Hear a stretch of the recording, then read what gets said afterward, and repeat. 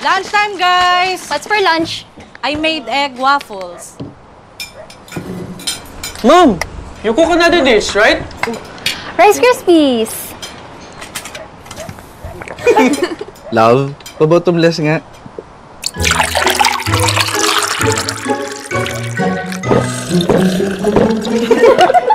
Feel sagana basta may Nesty. I think our kids watch too much TikTok.